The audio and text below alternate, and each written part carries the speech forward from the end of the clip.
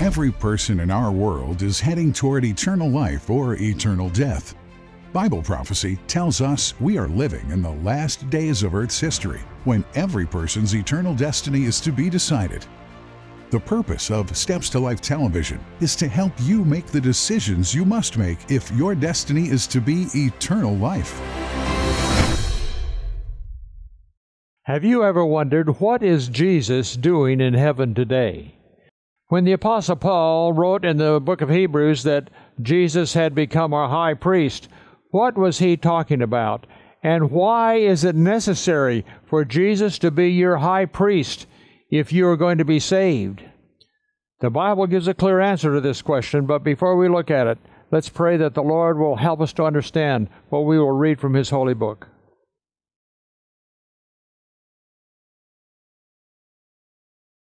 Our Father in heaven, we thank you that when we were ruined, that you made a way of escape, a way of salvation, a way that we could be saved from our degradation and sin. And as we study how this happens and who and who is involved in what they do, we pray that you will be our teacher, that we might understand the truth about salvation and how to be saved. We pray in Jesus' name. Amen.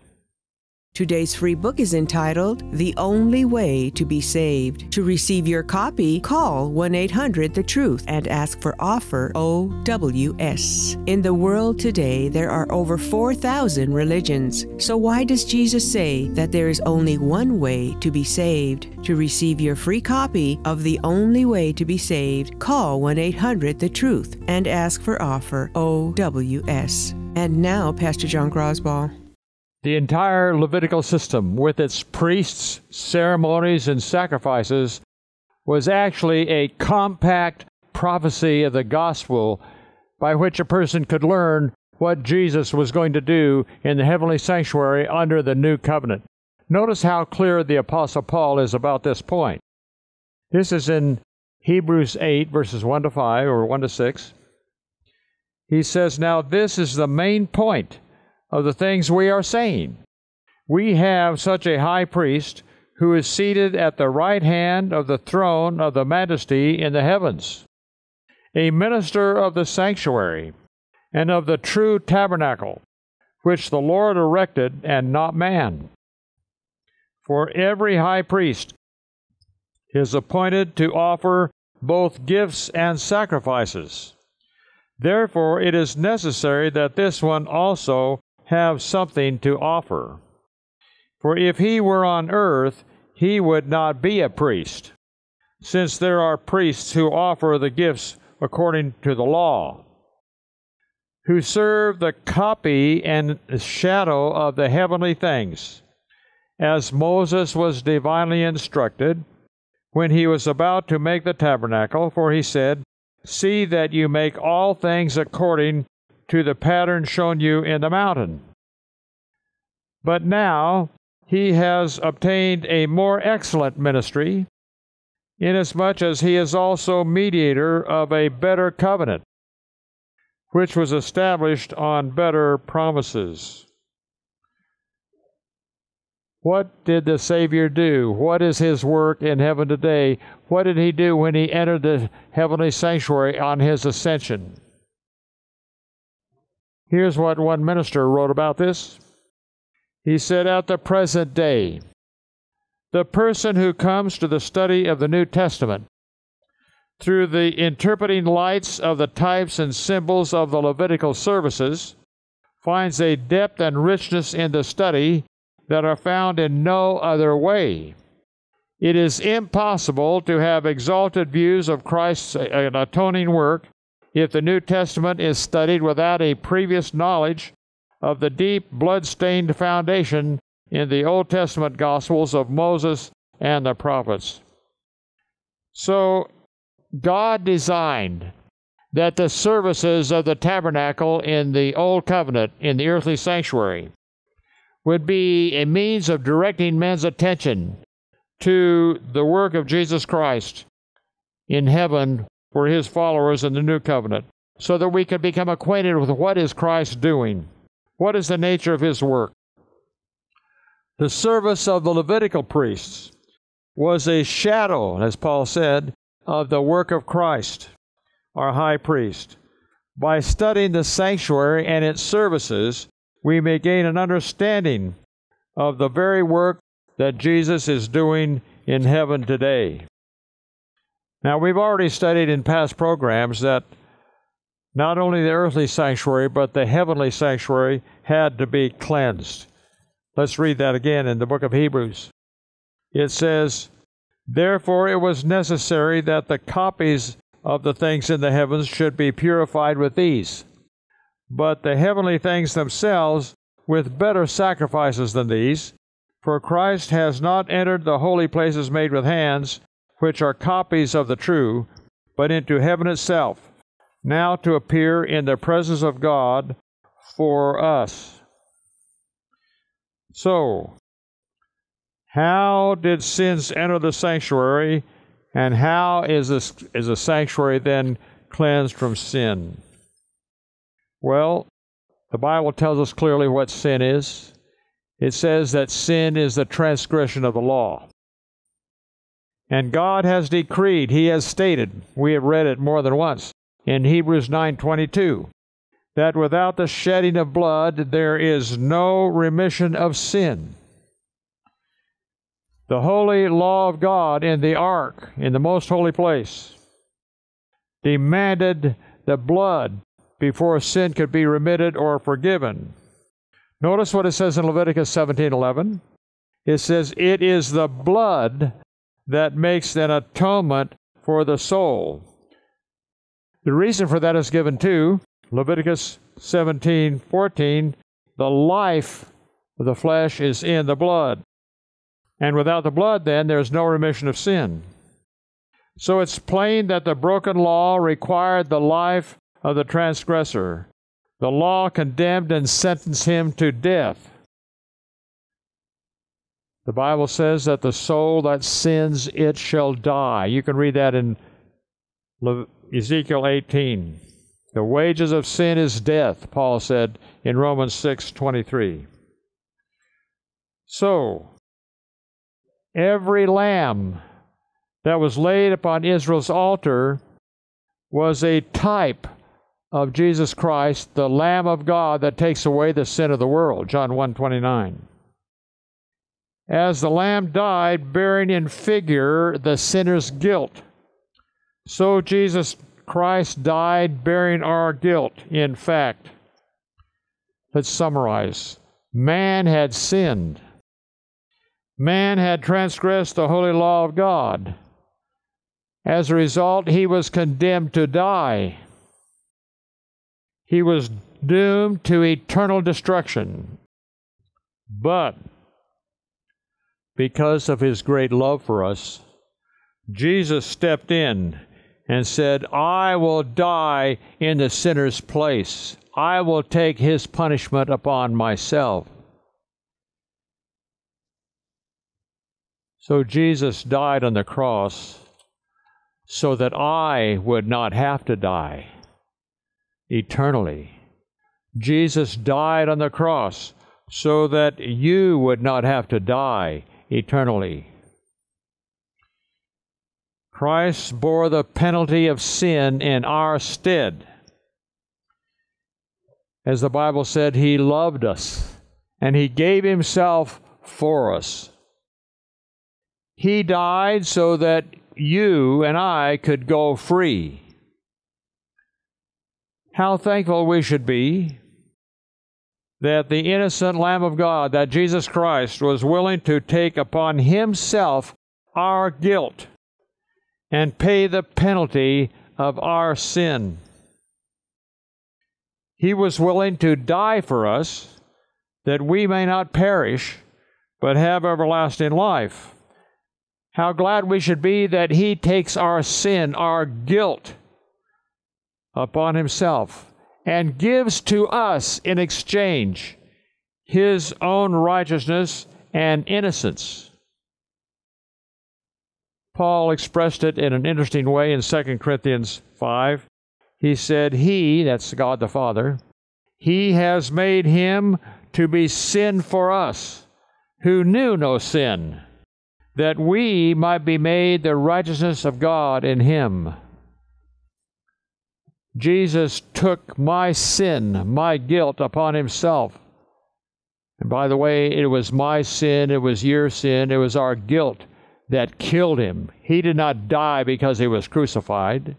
He died of a broken heart because our sins were laid upon him. Now, in passing, as we're studying this, we need to understand that the sanctuary service teaches us not only about the love and the mercy of God, but also about the holiness, the integrity, the authority, and the majesty of God's law. Christ died for you and me on the cross because we had broken God's law. Sin is breaking the law, 1 John 3 4.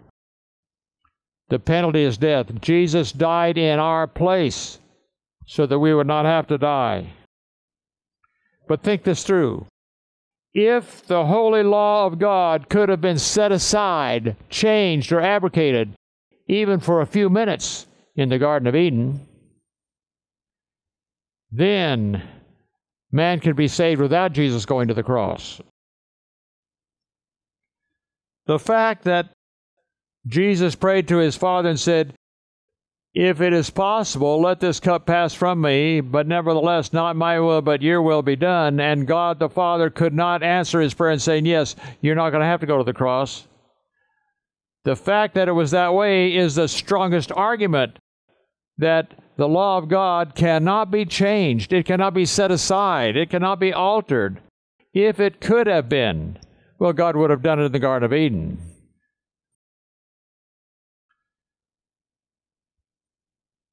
Through eternal ages. The cross of Calvary will stand as positive evidence that God could not change His law in the slightest particular, even to save His best beloved from a shameful death. The death of Christ confirms then that the law of God is changeless and is binding upon people of all generations. But the plan of salvation could not be carried out simply by Jesus dying on the cross. There was something else that was necessary in addition to his death. And that's why, after his resurrection, Jesus told his disciples, He said, I'm going to my God and your God, he said, I'm going to prepare a place for you. What did Jesus do when he went to heaven at his ascension? He went there to complete the plan of salvation. What is involved in this completion of the plan of salvation? Stay tuned, we'll see. Bible prophecy has accurately predicted the future of churches and nations hundreds and thousands of years in advance. Bible prophecy is the only dependable guide to what is really going to happen in the future and how to get ready for it. The Steps to Life Bible Correspondence Course lessons will help you understand Bible prophecy and Bible teaching about how you can be ready for the future. These lessons can be sent to your home without cost to you, or you can study the lessons online.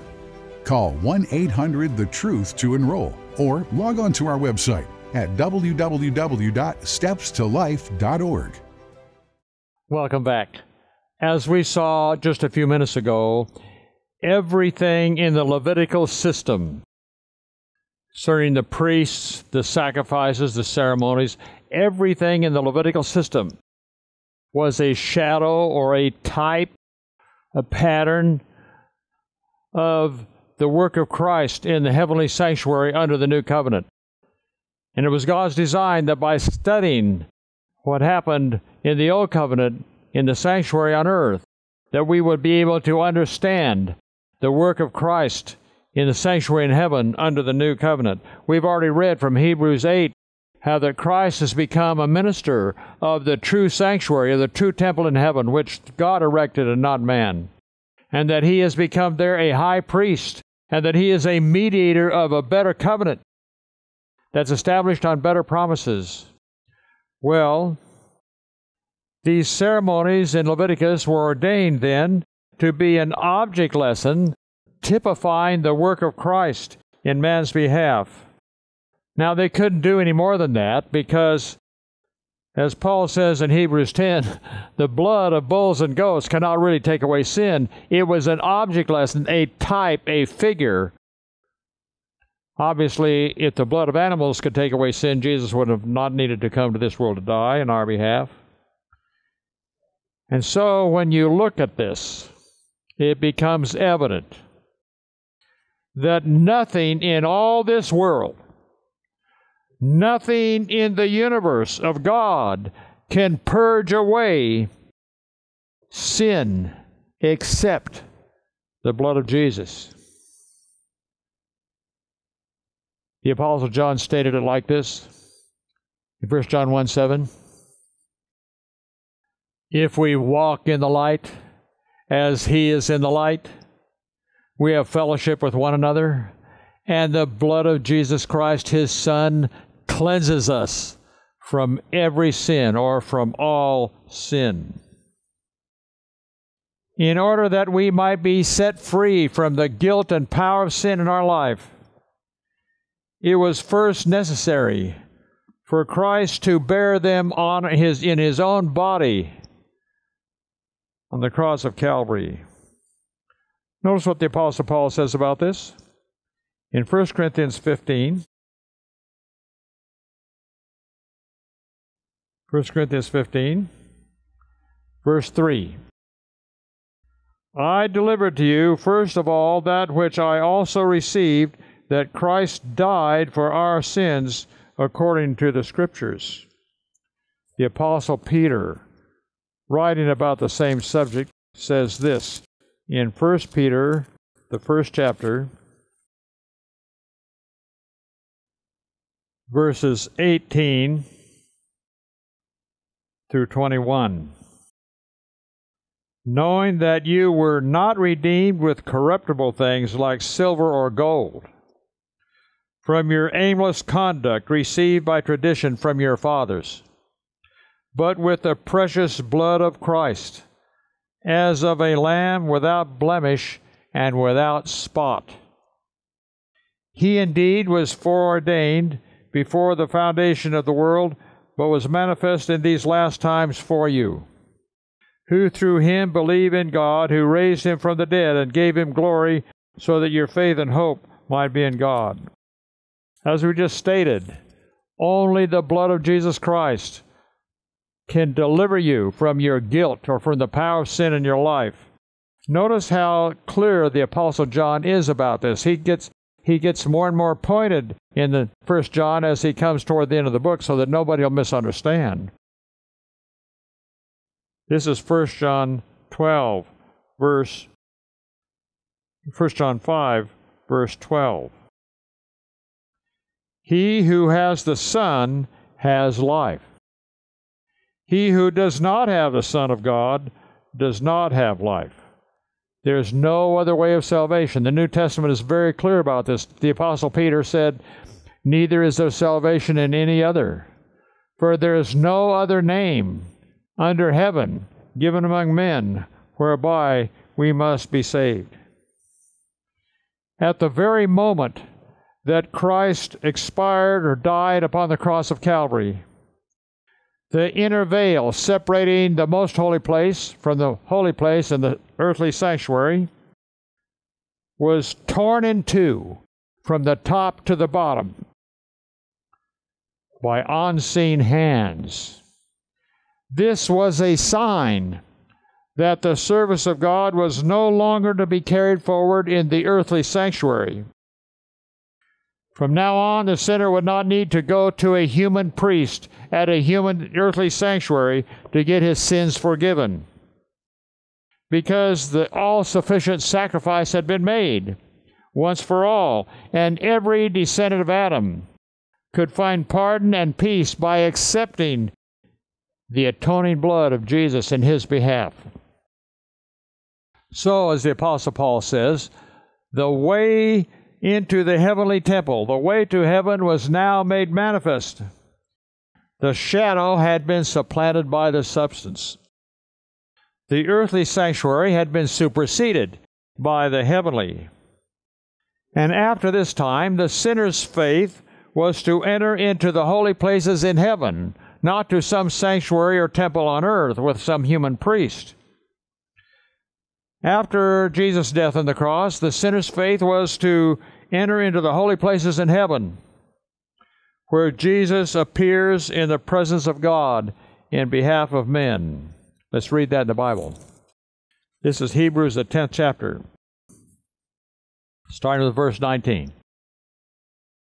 It says, Therefore, brethren, having boldness to enter the holiest by the blood of Jesus, by a new and living way, which he consecrated for us through the veil that is his flesh.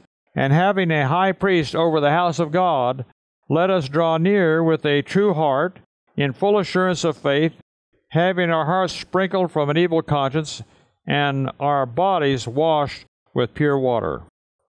Let us hold fast the confession of our hope without wavering, for he who promises faithful.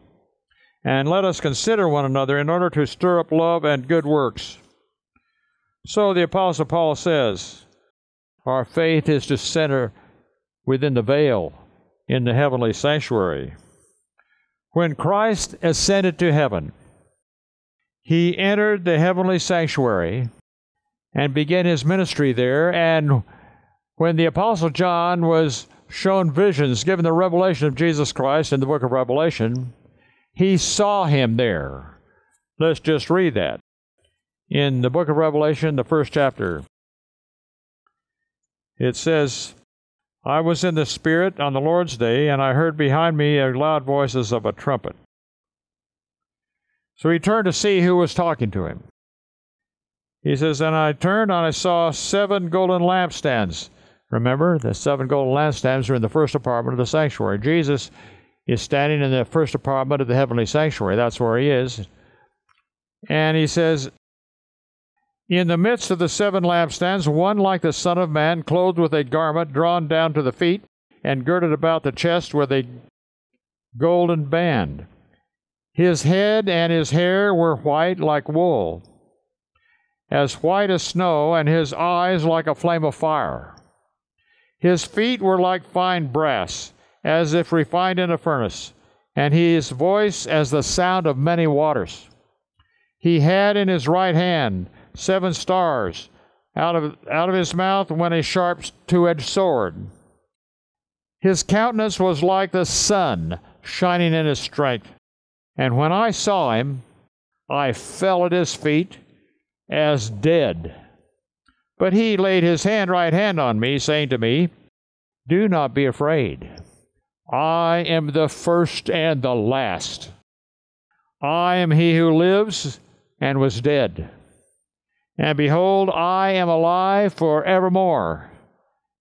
Amen. And I have the keys of Hades, that's the grave, and of death. Jesus, my dear friend, is the one who has the keys of the grave and of death.